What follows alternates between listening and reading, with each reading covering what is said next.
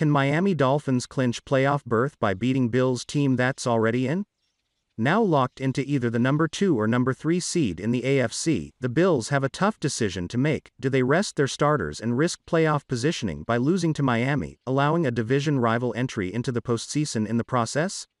Or do they risk injury, play their starters and try to secure home field advantage through at least the first two rounds? Whether or not the Bills' stars play will have a big impact on the outcome. Bold prediction Dolphins cornerback Xavier Howard will get his 10th interception of the year, making him the first defender in 13 years to get double digit picks. Antonio Cromartie, 2007. Howard getting a pick shouldn't be a surprise, but his overall frequency will be. Buffalo QB Josh Allen has made a routine of torching the Dolphins 17 touchdowns to 3 interceptions. But Miami's defense is due a big game against the Bills, though it's unclear if Allen or Matt Barkley will take most of the for a team that already clinched the division. Stat you have to know Miami leads the NFL in scoring defense 18.8 points allowed per game after ranking last in 2019, 30.9.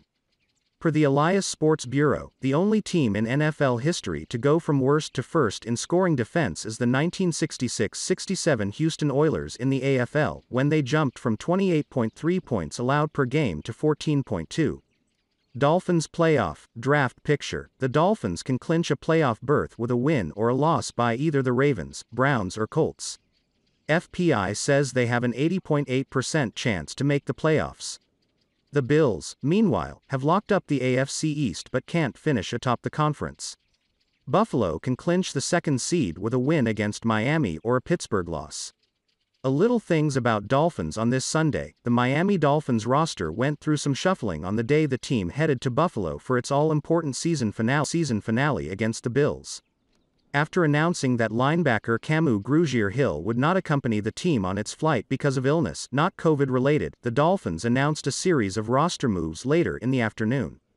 The most significant involved signing practice squad safety Nate Holley to the active roster and waiving second-year fullback Chandler Cox. The team also elevated wide receiver Marcus Kemp and quarterback Reid Sinnett from the the last move indicates the Dolphins are likely to have three active quarterbacks against Buffalo, with Jake Rudock also on hand to serve as backup to rookie first-round pick Tua Tagovailoa.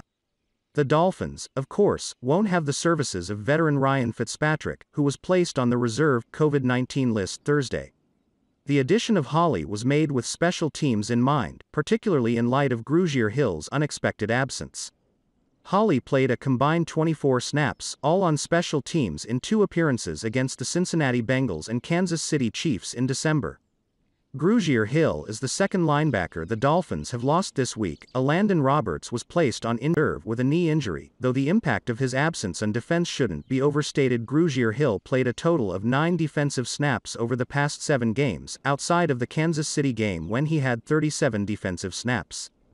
Kemp recently joined the practice squad after playing 10 games with the Kansas City Chiefs earlier this season.